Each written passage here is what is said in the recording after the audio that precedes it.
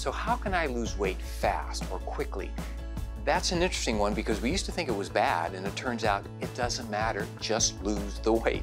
So if you want to lose quickly, the best way is you got to clearly restrict calories. So in other words, you're talking dropping your calories under a thousand calories per day. One, at two, you got to be able to exercise. Another way to do it is, in, again, intermittent fasting, which we'll talk about, but it's where you time restrict your eating so that you're going maybe 16 hours a day of fasting and eating in an eight hour window. All these things work well. The last one that probably gives the fastest is using these protein shakes and protein bars and doing one small meal a day.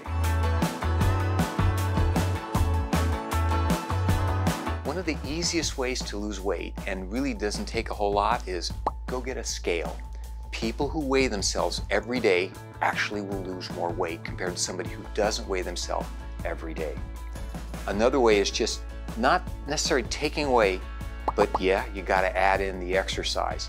Now, I will admit this seems to work a little bit better for men, but it will work for women, but add in exercise. Another very simple way is getting enough sleep. There are a lot of Americans that get maybe five or six hours of sleep. If they could get eight hours of sleep, that will help their weight loss.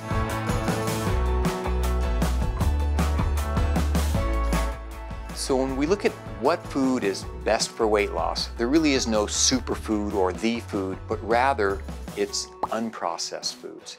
It's real clear that in the US diet, our diet is highly processed. So going more towards fruit. You don't need to juice it, you don't need to get the pill, just eat the piece of fruit.